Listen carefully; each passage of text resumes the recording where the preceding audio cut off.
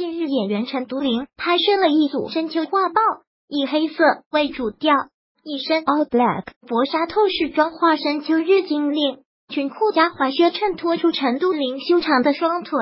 另外，黑色风衣内搭金色亮片吊带和一字肩上衣、牛仔裤的两套 look，让陈都灵看起来少女感十足的同时，也不失个性帅气。陈都灵让人印象最深刻的作品非左耳莫属了。那时刚刚踏入演艺圈的他还稍显稚嫩，但凭借清纯小耳朵这一形象，受到很多人的喜爱。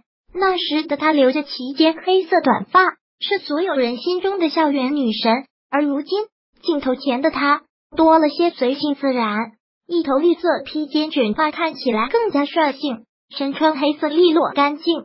撕掉校园清纯初恋脸的标签，如今陈都灵的眉目中多了一些沉稳，也更加舒适温暖。当年的小女孩，如今已成长为轻熟少女。近些年，陈都灵一直活跃在大家的视线中。据悉，近期她有多部作品即将与大家见面。由她主演的电影《破梦游戏》即将于十一月九日在全国上映。影片中的她化身双刀打女，首次挑战动作戏。